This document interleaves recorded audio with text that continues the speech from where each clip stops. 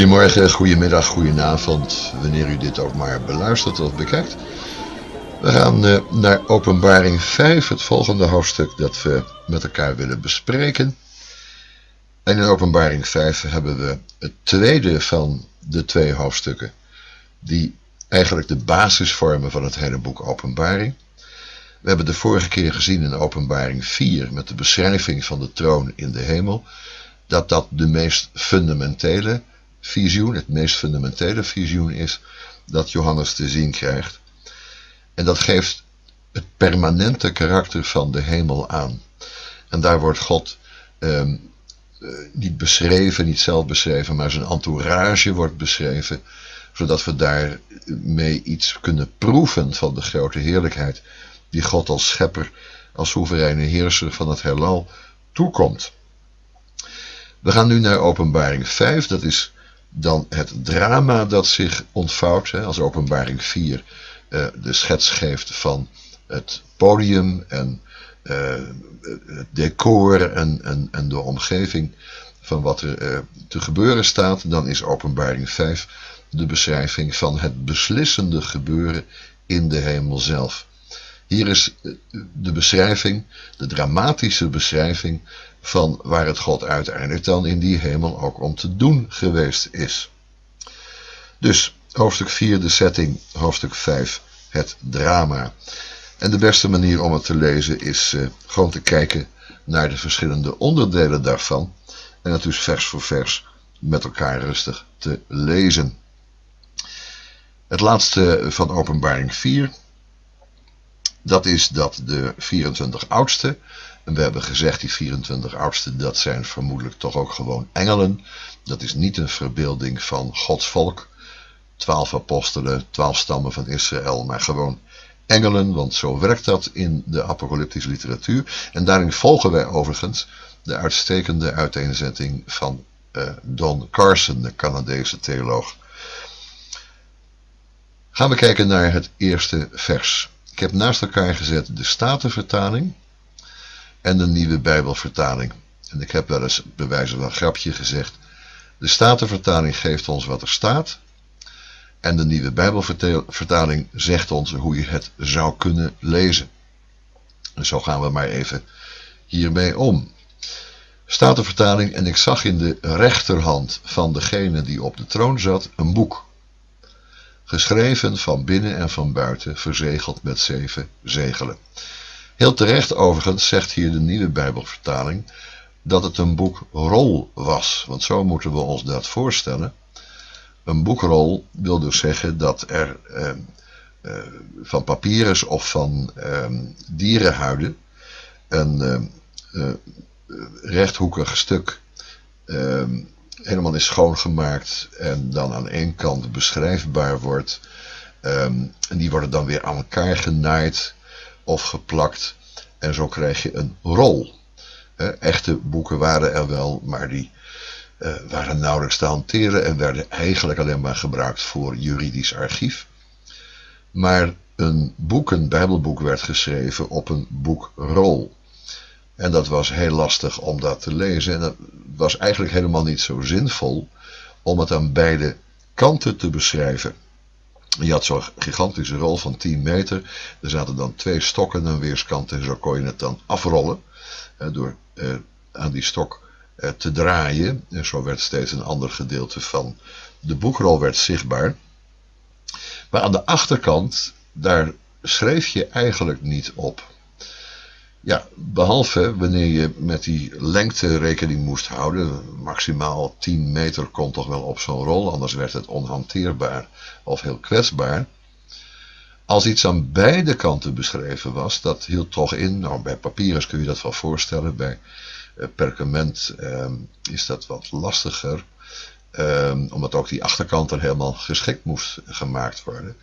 Eh, dat die aan beide kanten beschreven was.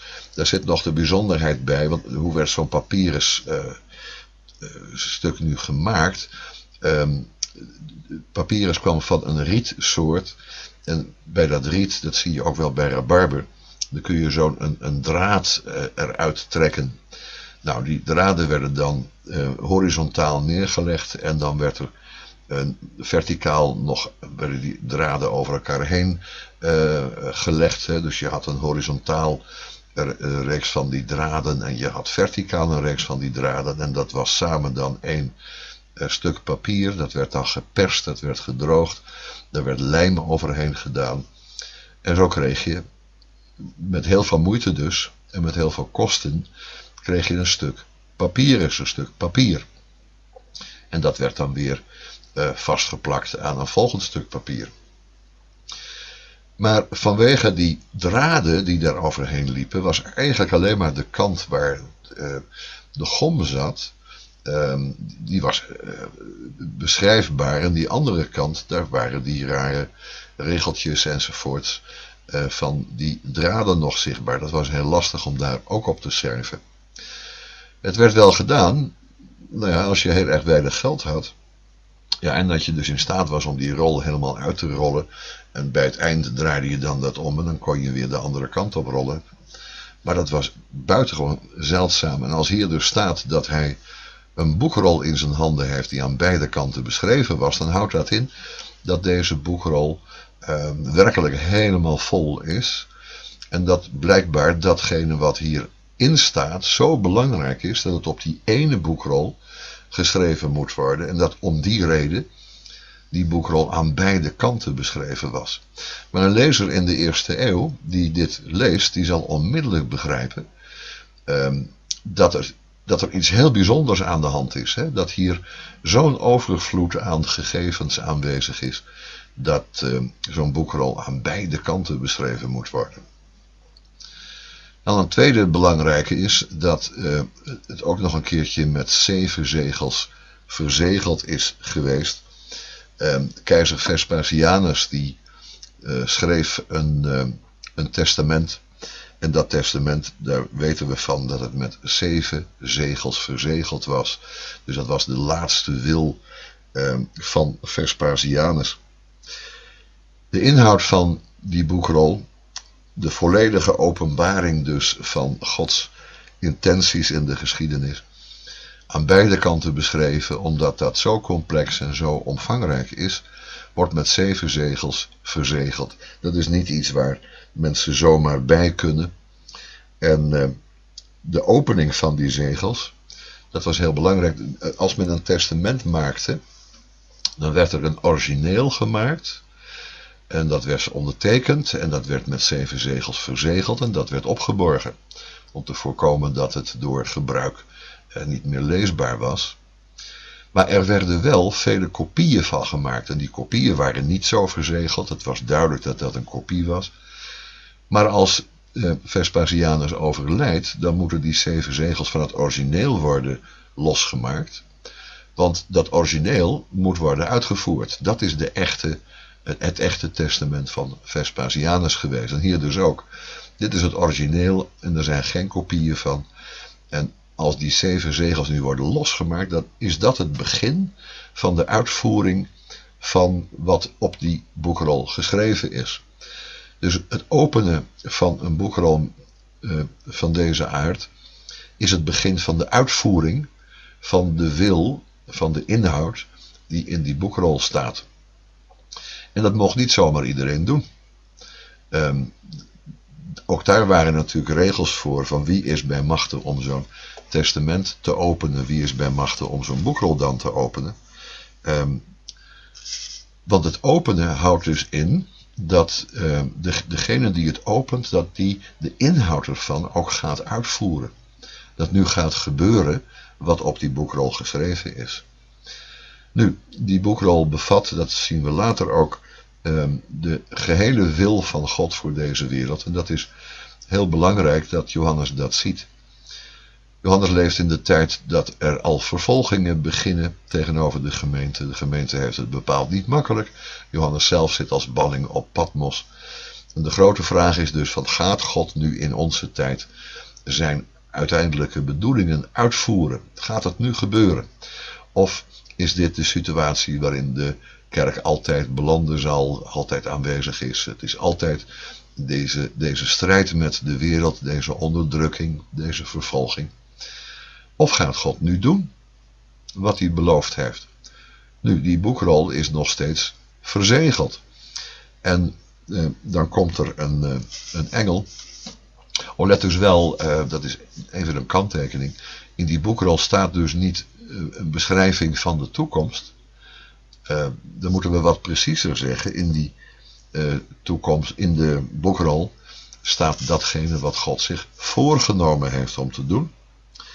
En de zeven zegels die bedekken dat, maar als die zeven zegels uh, zijn weggenomen, dan begint God dus zijn plan van verlossing en oordeel, beide moet je dan noemen, zijn plan van verlossing en oordeel uit te voeren. De grote vraag in uh, het tweede vers. En ik zag een sterke engel uitroepende met een grote stem. Wie is waardig het boek te openen en zijn zegelen open te breken? Realiseer je dat degene die op de troon zit, dat boek heeft. En we weten uit openbaring 4 waar die troon dan staat. Er zat iemand op de troon, lezen we in openbaring 4 vers 2. En degene die daarop zat was van aanzien in jaspis en sardius tegelijk enzovoort. Daaromheen die 24 tronen met de oudste. En dan al die bliksemstralen en stemmen en donderslagen. En dan die zeven vurige fakkels. En dan die glazen zee kristal gelijk. En dan in het midden van de troon. En rond de troon vier levende wezens met ogen van voren en achter. Die leeuw, het kalf. Eh, met het aangezicht van een mens en die vliegende arend. En die roepen heilig, heilig, heilig, Heer God de Almachtige enzovoort. Dat is de setting. Dus wie is waardig het boek te openen? Dat wil zeggen, iemand moet dus over die glazen zee, langs die eh, oudsten, langs de levende wezens, eh, naar die troon toe lopen. Moet daar in de presentie van God kunnen staan om dat boek te openen. Dus de vraag van de engel is heel terecht. Wie is waardig? Wie wie mag zo dicht bij God zelf komen om dat boek te openen en zijn zegels uh, open te breken. En dat woordje waardig is van belang. Axios. Uh, in het Grieks. Wie komt het toe? Ja, dat vind ik dan weer zo'n verslapte uitdrukking. Wie komt het toe? Het komt aan iemand toe. Um, heeft voor mij niet dezelfde kracht als het waardig zijn. Hè? Wie heeft de waardigheid, wie heeft de status om dat te kunnen, te kunnen doen? Het gaat echt over de waardigheid. En niet alleen maar over de vraag van wie, wie mag het doen.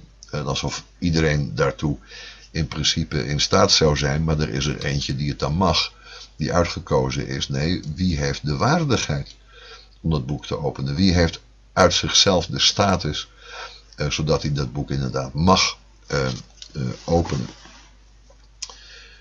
De vraag is eigenlijk zo te vertalen, wie is nou in staat om Gods intenties te verwerkelijken? Wie is het waard? En de hele kosmos wordt aangeroepen, dat horen we later.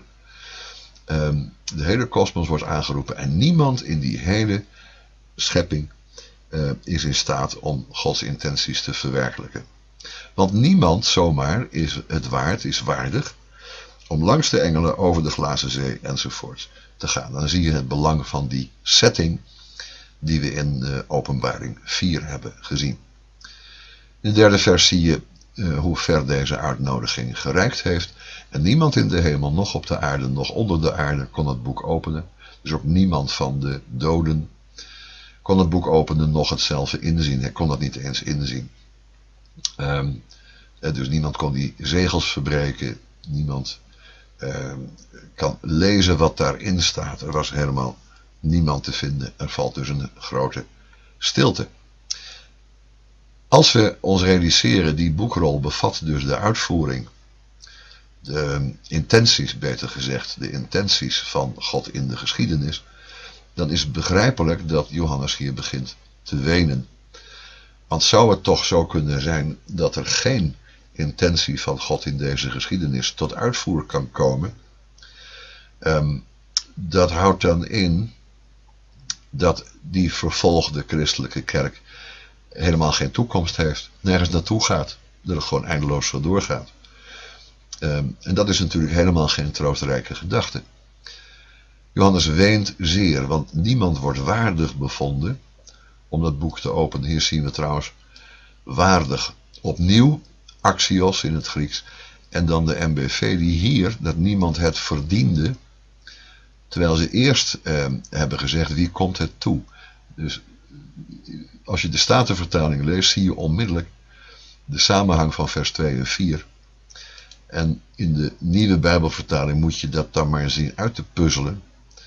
Ehm, en dat suggereert dat er twee verschillende woorden in de oorspronkelijke taal staan, maar dat is het niet.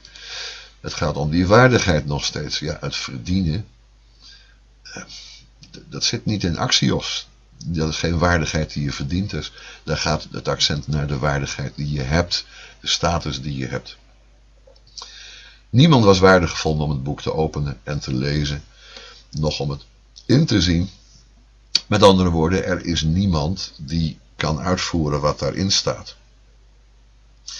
Ik weende zeer. Dat wenen is dus niet omdat um, hem geen toekomstblik gegund wordt. Het is niet uh, een, een, wenen omdat, uh, omdat hij zo nieuwsgierig is naar wat er gebeuren zal. Dat hij het zo jammer vindt dat dat niet, uh, niet zichtbaar wordt. Er is geen engel, geen mens, geen dode, geen geest, geen levend wezen dat dat doen kan. En dwars door die tranen heen eh, komt dan in vers 5 het antwoord van de ouderlingen. Um, vers 5 zullen we dan maar nemen. Een van de ouderlingen zei tot mij, dat dat is typisch het gedrag van een engel die, uh, die uitlegt wat er gaande is. Um, vandaar dat die ouderlingen toch maar beter niet als de gemeente kunnen worden gezien. dat zou toch heel vreemd zijn. Johannes is toch zelf deel dan van die gemeente, dus ook deel van die ouderlingen. En dan wordt het toch wel een beetje lastig om vol te houden dat dit de gemeente zou zijn. Um, maar als we aannemen dat dat um, engelen zijn, dat God als het ware ook oudsten heeft. Hè? Dus mensen die uh, als het ware Gods pastorale zorg um, uh, uitvoeren en hier dus ook Johannes pastoraal aanspreken. Hè, met te zeggen, ween niet, want, et, et cetera. En dan komt dat wonderlijke beeld, uh, de leeuw die uit de stam van Juda is. In Genesis 49 vinden we dat Juda een leeuw is. Hè. Dat is het symbool van de koninklijke waardigheid, want de koning van Israël komt uit de stam van Juda. En in de apocalyptische literatuur van deze tijd, bijvoorbeeld in het vierde boek Esra, niet in de Bijbel, maar wel door veel Joden gelezen in die tijd, daar is de Messias ook een leeuw. Maar die leeuw is tegelijkertijd de wortel van David. Dat verwijst natuurlijk naar Jesaja 11, waar we de tronk van Isaïe vinden, de wortel van Jesse. En dat is natuurlijk ook David. In openbaring 22 vers 16, daar gaan we heel even naartoe. Openbaring 22 en dan vers 16. Daar zien we twee termen. Ik, Jezus, heb een engel gezonden om jullie deze dingen te getuigen in de gemeente. Ik ben de wortel. Dat vonden we dus ook in openbaring 5. Maar ook het nageslacht van David. Hier de telg van David, zijn nakomeling, zegt dan twee keer hetzelfde in de MBV. En dan is ook weer die hele samenhang met Jezaja 11 verdwenen. Dus hier voor de derde keer een negatief punt in de nieuwe Bijbelvertaling. Nee, hij is de wortel, Jezaja 11, en het nageslacht van David. En dat is wel heel belangrijk. Waarom is dat nou belangrijk dat hij de wortel en het nageslacht is? Nou, hij komt dus vooraf aan David. Want hij is de wortel van David. Dat wil zeggen, hij gaat aan David vooraf. Dus uh, hij komt niet alleen maar uit David voort. Hij is een zoon van David, zegt Matthäus 1. Maar hij is ook datgene wat aan David vooraf gaat. De tronk van Isaïe, dat is die afgehouwen stam, waarop dan vervolgens weer wat gaat groeien. Um, dat is de basis en het fundament en de herkomst van David. Dus hij gaat aan hem vooraf en hij volgt op hem. En dat heeft met de status van de heer Jezus te maken dat hij niet zomaar en alleen maar een zoon van David is. En maar dus ook aan hem vooraf gaat. En daarom kan David ook in de psalmen hem zijn Heer noemen. Psalm 102 bijvoorbeeld. Ween niet, zie de leeuw, de leeuw die uit de stam van Juda is, de wortel van David, hier nog alleen maar de wortel van David, heeft overwonnen om het boek te openen en zijn zeven zegelen open te breken. Gaat niet zomaar. Het gaat niet zomaar. Ehm, er is een strijd gaande. Er is een strijd geweest. De Messias heeft overwonnen. De Heer Jezus heeft de overwinning behaald. En daarom mag hij dat boek openen. En we gaan dan in het volgende vers meemaken wat ehm, die overwinning precies inhoudt en wat die gekost heeft. Vers 6, en ik zag en ziet in het midden van de tronen van de vier dieren, in het midden van de ouderlingen, een lam staande als geslacht. Eh, merk om te beginnen al op uh, hier in het midden van de troon, dat wonderlijke beeld, wordt wegvertaald in de MBV, midden voor de troon. Nee, de apocalyptische aanwijzingen van plaats en tijd, die zijn niet bedoeld om, eh, laten we zeggen, dat ons voorstelbaar te maken. Het is letterlijk in het midden van de troon. Uh, hoe dat kan, weet niemand, maar zo centraal. Want daar zit iemand op die troon. En die troon heeft een midden. En daar zitten al die vier levende wezens. Die zijn in het midden en eromheen. En er kan geen midden van de troon zijn, behalve van degene die erop zit. Toch is dat niet zo. Uh, dit lam zit in het midden van alles. In het midden van de hele wereldgeschiedenis. Maar dus zit hij ook in het midden van de troon. Daar kun je geen plaatje van maken. Maar dan moet je dat plaatje ook niet gaan verzinnen. Zoals hier midden voor de troon. In het midden van de troon en van de vier dieren. In het midden van de ouderlingen die in zo'n kring rondom de troon zitten. Een lam staande als geslacht. Kijk, dit is de leeuw. Maar die leeuw heeft overwonnen in een strijd. En in die strijd is hij een lam. En hij staat daar eh, niet alsof het geslacht was. Dat is ook weer zo'n MBV-fout. Het zag eruit alsof het geslacht was. Nee, het was geslacht. Je ziet het geslacht zijn aan dat lam. En tegelijkertijd zie je dat lam, uiteraard het lam gods dat de zonde van de wereld draagt. Je ziet dat lam met zeven hoornen, zeven als getal van de volledigheid, hoornen als het symbool van koninklijke macht. Zeven ogen, zeven opnieuw getal van volmaaktheid.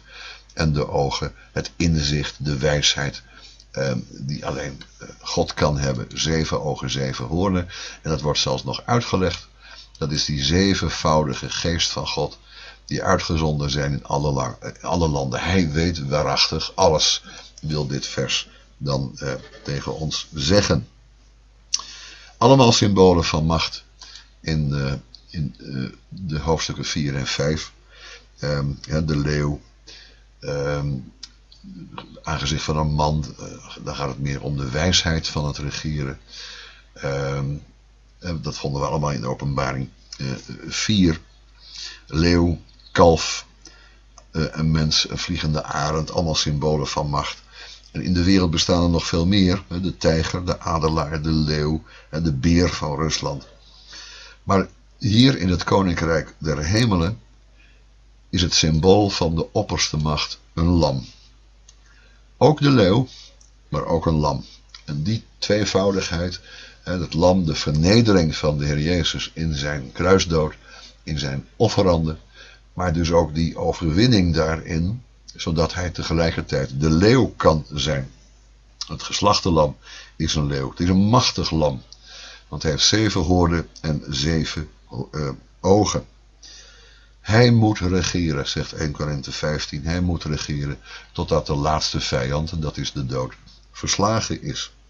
Met zijn perfecte kennis, in zijn triomfantelijke en overwinnende leven, is hij waarachtig geslacht. Hij is gedood. Vers 7. En het kwam. Hij steekt dus over die glazen zee heen, komt langs die oudsten komt langs de vier dieren, staat daar te midden van die donder en die bliksem en die stemmen en hij neemt in de tegenwoordigheid van God eh, dat boek aan. Nou ja, hij is ook de wortel van David, dus hij is meer dan zomaar een mens als nakomeling van David. En het kwam het, want het is het lam, dat wordt hier ingevuld, nou ja. En heeft het boek genomen uit de rechterhand van degene die op de troon zat. Waarom ging naar degene die op de troon zat? Dat is een parafrase om het ons dan wat uh, voorstelbaarder te maken, terwijl in de Statenvertaling er gewoon simpelweg uh, verteld wordt wat ook het Grieks zegt. Het heeft het boek genomen uit de rechterhand van degene die op de troon zat. Dus hij doet waar het nu hier om gaat. Hij is waardig om dat te doen. Dit, deze leeuw, die ook een lam is, uh, is waardig om dat te doen. En als het dat boek genomen had, vielen de vier dieren en de 24 ouderlingen voor het lam neer, hebben de elk cieters en gouden violen zijn de volle reukwerk, welke zijn de gebeden der heiligen.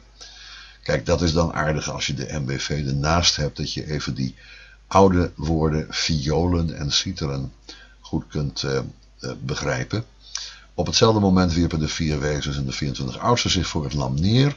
Ieder van hen had een lier en een gouden schaal vol wierook. Dat zijn de gebeden van de heiligen. Nou, waar gaat het daarom? In vers 8. De boekrol is aangenomen, nu moeten die zegels geopen gaan, uh, open gaan worden. En het mag ons helemaal niet um, verbazen dat ze hier neervallen. Dat neervallen is een neervallen in aanbidding. Kun je nagaan, in de tegenwoordigheid van God zelf wordt het lam aanbeden.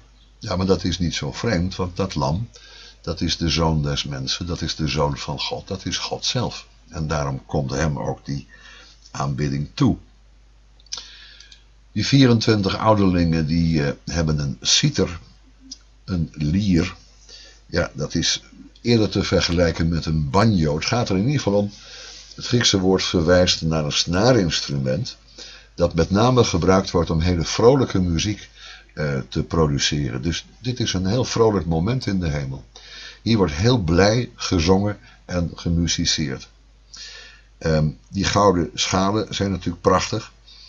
Um, en dan hebben ze ook nog reukwerk. Reukwerk, dat is ook een woord. Wierook staat er. Nou, prima. Um, in de MBV. Uh, heel belangrijk dat wierook bij de meeste mensen ook een, een ander beeld oproept. Kijk, die, die lier, dat was een instrument dat iedereen zich goed kon voorstellen. En men wist ook waarvoor het gebruikt werd. Gouden schalen kon men zich voorstellen. Dat hoorde natuurlijk bij een paleis. Maar die, ook die wierook was heel belangrijk. Als je nagaat dat in die eerste eeuw en nog heel lang daarna mensen geen zeep hadden om in te baden. Uh, dat was iets wat alleen maar uh, misschien koningen uh, zich konden permitteren.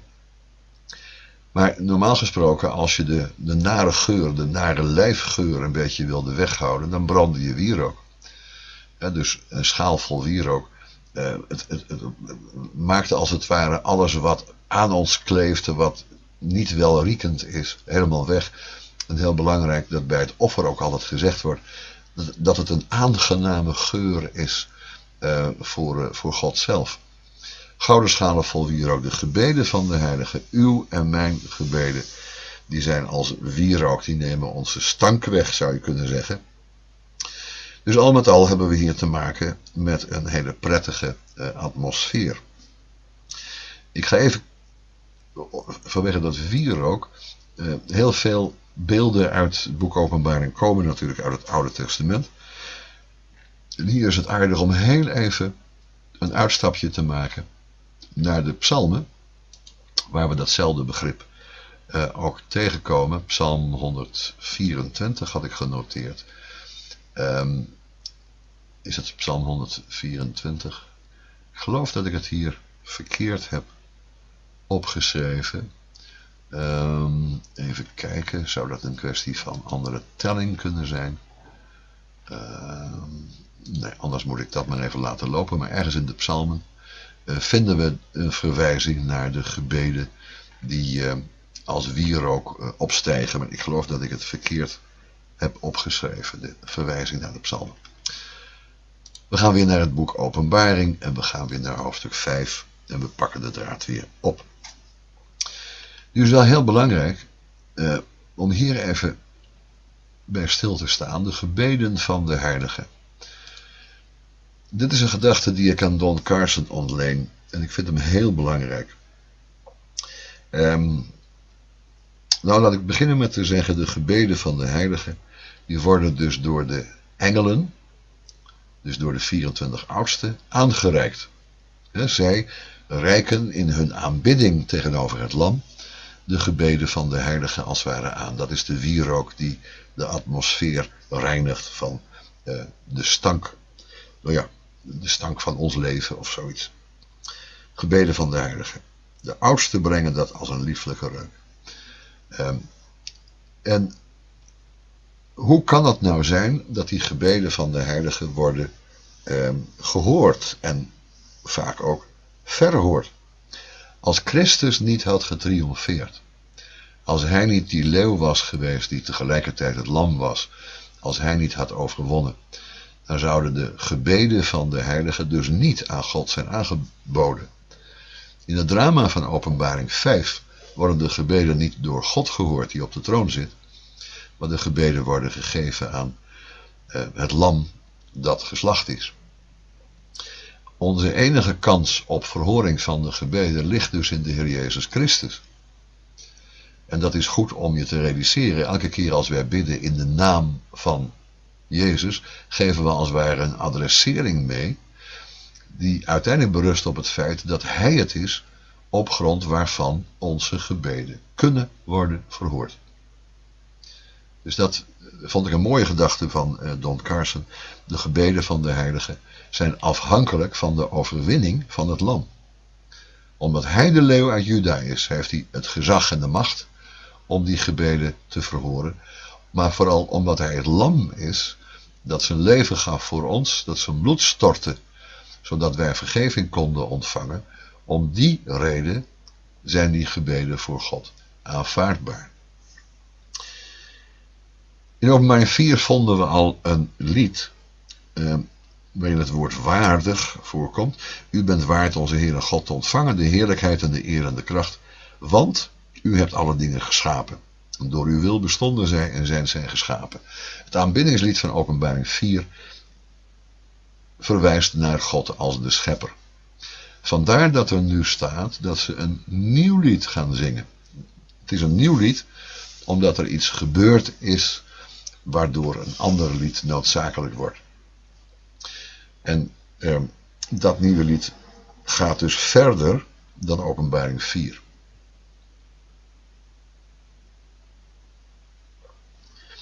Een tweede belangrijk verschil is dat ze dat zingen in de richting van het lam. Het lam wordt hier aangesproken. In openbaring 4 is het God de schepper. Die wordt aangesproken met de woorden, u bent waard, onze Heer en God. Hier gaat het om het lam. Gij zijt waardig dat boek te nemen en zijn zegelen te openen.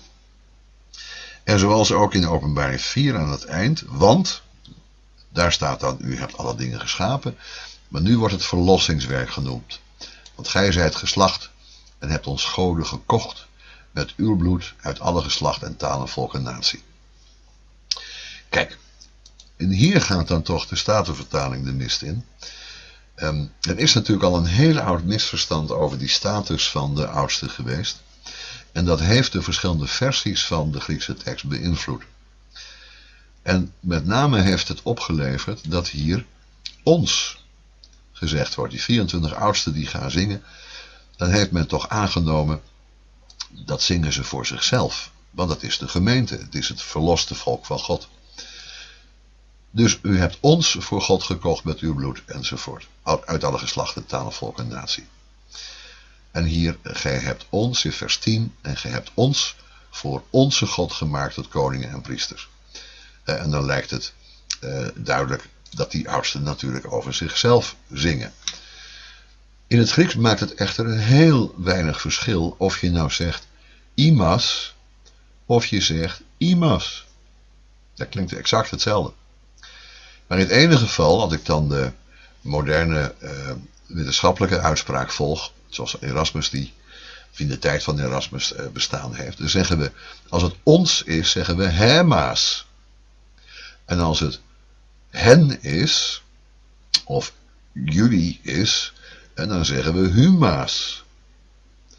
Ehm, of eh, we zeggen autus.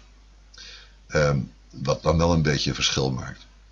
Maar in vele handschriften waar de Statenvertaling op uh, teruggaat, heeft er in ieder geval gestaan ons en onze God. Nou, kijk wat de MBV doet, die is op dat vlak wat beter geïnstrueerd. U hebt voor onze God uit hen een koninkrijk gevormd en hen tot priesters gemaakt. Zij zullen als koningen heersen op aarde. Ja, dan moet je een beslissing nemen. Um, zingen zij nou, die oudste, die engelen, zingen zij dat lied als het ware uit de mond van de gemeente? Is een lastige constructie. Dan zouden ze als het ware plaatsvervangend zingen voor ons. Zij zingen dat lied wat eigenlijk dan bij ons hoort.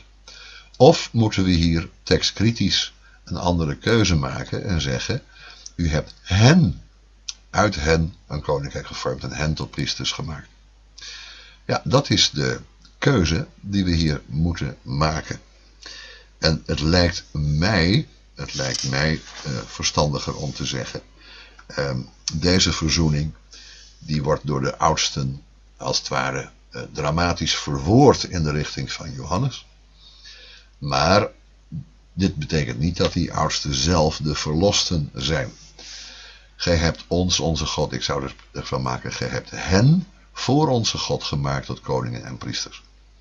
En zij zullen als koningen heersen op de aarde. Ik denk dat dat de beste vertaling is, dus hier krijgt de NBV een compliment omdat er een betere tekst is gevolgd.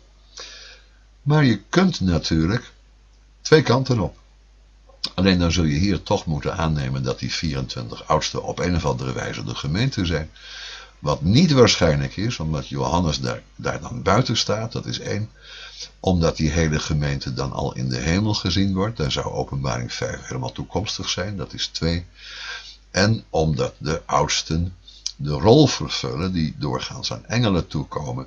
De uitleg namelijk voor degene die het visioen heeft ontvangen. Eh, dat geven ze, dat doen de engelen altijd. En dat is drie. Drie argumenten om te zeggen. De 24 oudsten zijn niet de gemeente, maar zijn eh, engelen. Overigens, dat het er 24 zijn, is ook geen argument om te zeggen: het gaat om de gemeente. Die gemeente is gebouwd op 12 apostelen. Op het apostolisch getuigenis, dat zijn er 12. Bij 24 zou je dan moeten denken aan de 12 stammen van Israël en de twaalf apostelen. Maar de gemeente is niet zomaar een combinatie van ehm, twaalf apostelen die de gemeente zijn, dat zijn ook Joden, en dan twaalf stammen van Israël. Dat is al een hele lastige constructie. Want niet heel Israël en heel de gemeente zijn hier samen aan het buigen voor het lam. Want niet heel Israël heeft uh, dat lam Gods aangenomen. Dus hoe moeten we ons dat dan voorstellen? Dus dat is eigenlijk nog een vierde argument dat je die, dat getal 24 dan helemaal niet correct duiden kunt. Goed, 11 en 12 vind ik zag en ik hoorde een stem vele engelen rondom de troon. Oh, ik moet nog even hier iets over zeggen. Die koningen en priesters. Koningen wil dus zeggen dat wij het gezag van Christus eh, hebben als basis. We zijn koningen in zijn naam. Hij is de koning der koningen. We zijn dus allemaal tegenover de aardse overheden soeverein. We zijn eigenlijk niemands onderdaan, behalve onderdaan van God zelf. En wij moeten dus het gezag van God naar de wereld toe representeren. Zoals de koning in, in Israël het gezag van God, de wil van God moet vertalen in de richting van het volk. Zo zijn wij koningen omdat wij het gezag en de geboden van God in de richting van de wereld moeten presenteren. En tegelijkertijd zijn wij priesters, dat wil zeggen dat wij voorbeden doen bij de koning der koningen voor de wereld waarin we geplaatst zijn. Dus koningen wil zeggen dat gaat van boven naar beneden. Gods koninklijke macht en geboden worden door ons zichtbaar gemaakt op de aarde en aan de wereld meegedeeld. Maar we zijn ook priesters en dat gaat de andere kant op. Dat wij in onze gebeden eh, de wereld representeren bij God en voor die wereld ook voorbeden doen. En we zullen als koningen heersen op de aarde. Dat onderwerp stel ik nog even uit. Het houdt wel in ehm, dat eh, van de gemeente gezegd wordt dat ze uiteindelijk niet in die hemel blijven, maar op de aarde heersen. Ehm, door daar ook daadwerkelijk te zijn. En dat is niet in strijd met de gedachte dat we in de hemel zullen zijn, maar die hemel zal op aarde zijn. Hemel en aarde zullen die, die, dat hechte uh, verband weer met elkaar hebben. zoals God in het paradijs ook niet de hemel verlaat als hij in de avondkoelte in het paradijs wandelt. Dat is voor hem niet het verlaten van de ene sfeer voor de andere. Hemel en aarde zijn dan veel meer een eenheid en zullen dat in de toekomst ook weer zijn.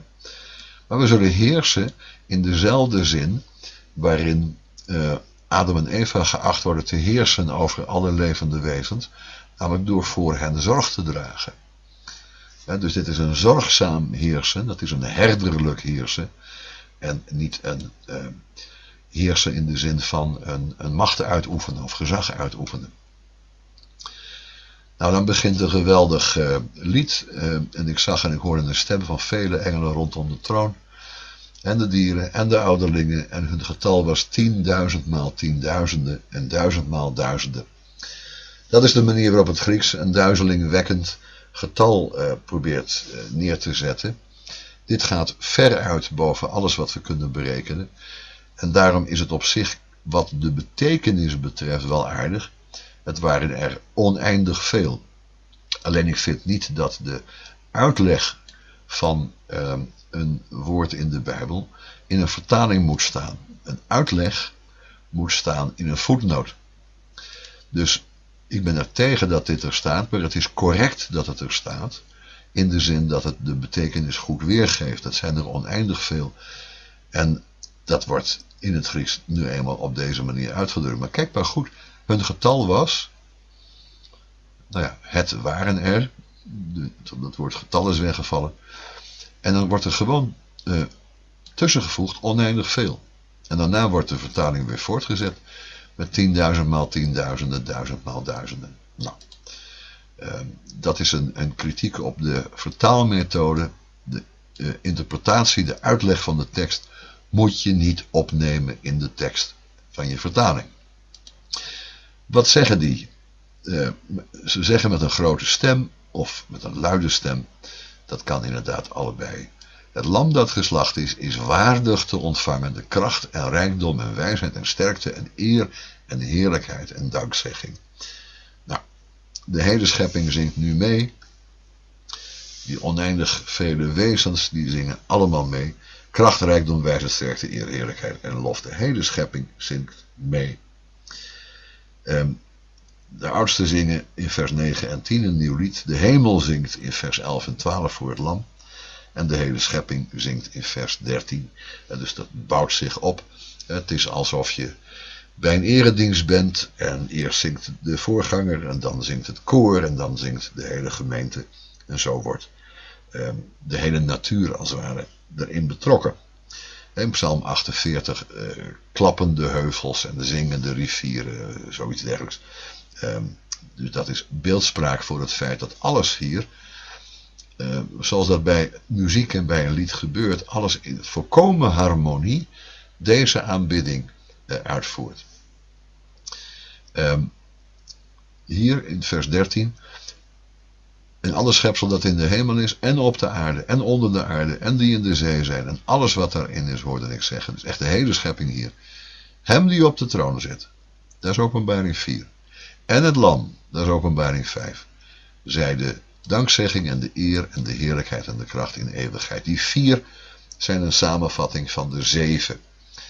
Maar het is heel apart dat die engelen, die zingen zevenvoudig. Kracht, rijkdom, wijsheid, sterkte, eer, heerlijkheid, dankzegging. Zij zijn in staat om dat allemaal te overzien. Um, dit lam heeft waarachtig alle macht, want het is de leeuw.